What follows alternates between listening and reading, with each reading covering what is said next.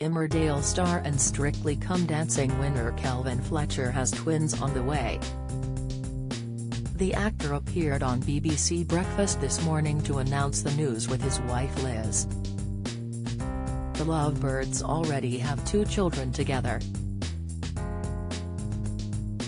Announcing the couple's happy news, TV host Sally Nugent said, You were already quite busy, weren't you, before you took on a farm, with two young children. And you have news to share with us this morning, which is, we're having another two more children. Liz gushed. As beaming Liz gazed at Kelvin, Sally couldn't help but point out how surprised the expectant dad looked following the joyous public announcement. You look surprised, the TV star joked.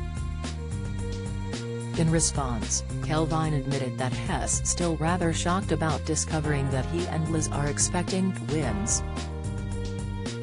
Kelvin said, We just recently found out, to add another curveball if you like. We don't really do things by halves and then we found out we're having not just one baby, but two.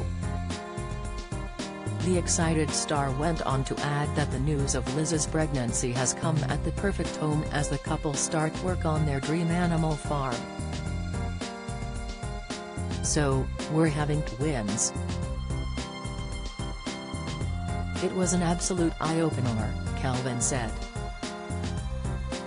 So, come May, we'll be delivering lambs for the first time, I'm not going to be delivering babies as such but it is going to be a really busy time.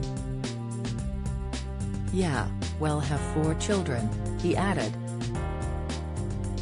Reiterating the couple's fabulous news, BBC Breakfast host Sally said, not only have Kelvin and Liz Fletcher just moved to a new life on a farm, but Liz is pregnant with twins.